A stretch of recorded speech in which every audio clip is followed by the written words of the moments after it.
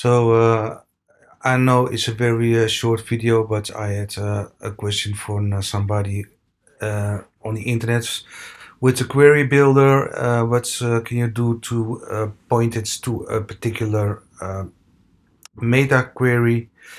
For example, the city. So it's the address. I've made in the post types. I made a name address, and I've made it in the advanced custom fields. Um, so I didn't use uh, the Crocoblock. So it's the current meta value when you're using the value and you have to embed the address and the meta key field is the address. And when you're using a jet engine, and then you can choose for the option for the jet engine meta field generator and then you can choose one of them here. So I have only one because I used advanced custom fields. So if you can see here, it's test, not very creative, I know, but when you go into um, Jet Engine and to the post types, then you can see that I've added the test and it's in here.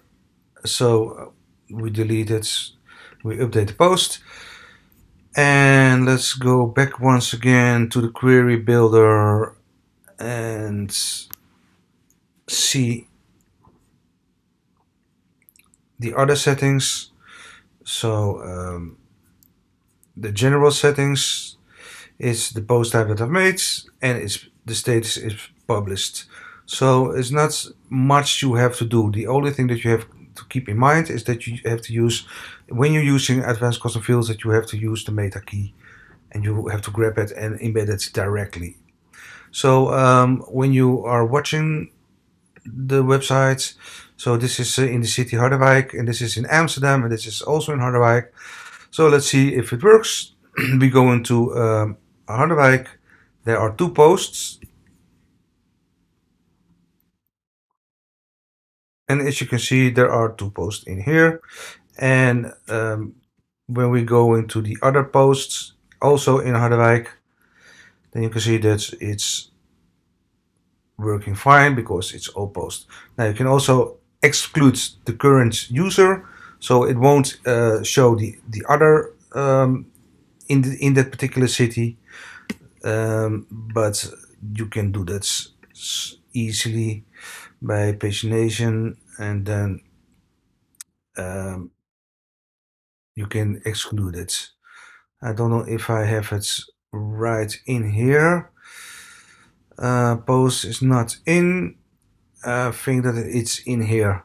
So the, then you have to use the current user and then you update it. I might be wrong but I don't think so. Let's see if it works. Yes, I'm wrong. This time I'm wrong. So don't ping me on that. Uh, it's not so difficult, but I have to uh, figure it out. So that was it. You asked that for it, and I have showed you how it works.